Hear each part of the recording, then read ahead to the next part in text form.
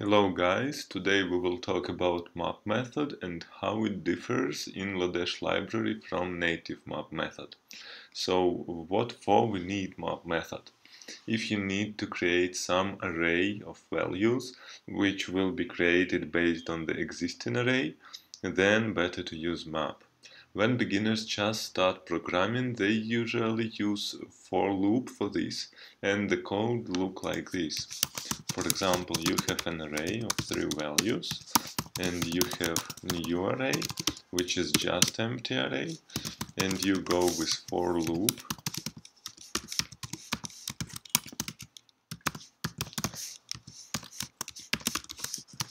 And inside it, you just pass in the new array items, where each item is multiplied on 2 if we will look now in your array, you will see that we have new array where all items are multiplied on 2. But this is like a lot of code and uh, better to use map for this because it's much easier. So for example, we have array from 1 to 3 and we want in new array to save our array. And we use on it map where we pass the function. And the argument will be item. Now inside we will just write return item multiply 2 um, r was with one letter and now if we will check new r we will get the same result. But as you can see the code is much more readable. We don't need for loop for this. And all that we need is to apply map method on our existing array and pass function which will return what should I do with each item in this array. And um, what the point of using Lodash instead of native map method like we used here? because it's more flexible. Let's try. For example, we want to use map method. In Lodash all methods begins with underscore and map method as first argument takes the array which we want to change and the second argument is function again with item and inside it we just want to return item multiply 2 and we get the same result as before. Nothing special here, the code is look like the normal one, so no better approach here. But uh, let's try another example. We have map, and we have the array, but in this case we will have an array of objects with id and name. For example, id1 name foo, and next object ID2 name bar. And now we want to return all names of all objects. So we just use return item.name.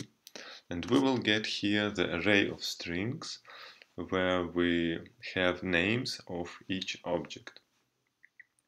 And uh, now we can optimize this code because it's quite big. And here we have function as a second argument. And all that we want to say is just take names. So we can change it a little bit remove function and just provide string with name as you can see the code works the same and what you do here is that you use shorthand and um, you provide only the key what you want to get from each object. So it's quite good because you don't need function and so on. And what is also good about map in Lodash that you can apply it on object because default map in JavaScript you can't apply an object and it will look like this. Sometimes you have object where you store data and you have key as a unique key of your entity. Here we have unique key 1 and here we have some user with name foo and we have here the other key where we have name bar.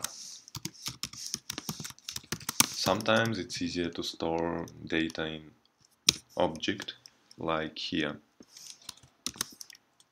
And now we want to apply function again with item, which will go here the item will be the value each uh, object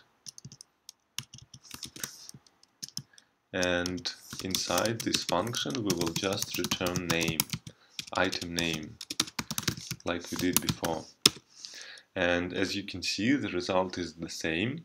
We get names but in our case we get them in from the object which is a little bit different from array.